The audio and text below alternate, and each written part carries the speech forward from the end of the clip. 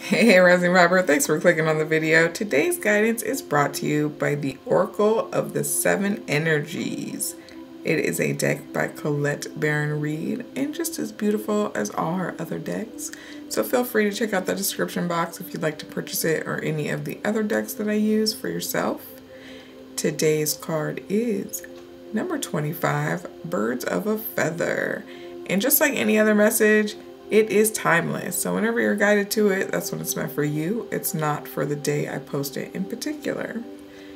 Today's key concepts for this card sharing, community, a sense of belonging, fellowship with like hearted people, understanding the concept of we before me.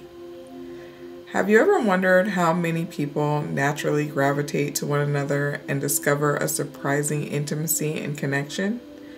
There is a kind of magnetic energy, like an invisible ray of light, that gently pulls people together to form something beautiful that can be shared.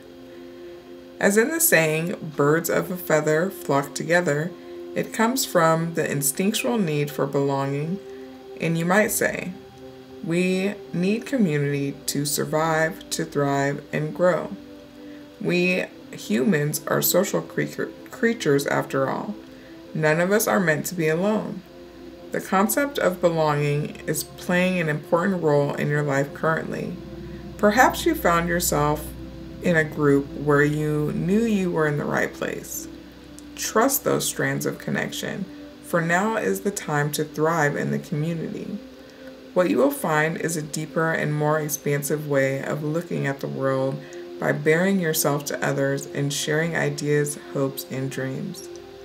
However long you stay here in your journey of becoming who you were meant to be, connecting to the community and participating in fellowship is the best thing for you right now. You will flourish as a part of a network of like minded people and like hearted people. Stick to what feels good and resonates with your heart as true.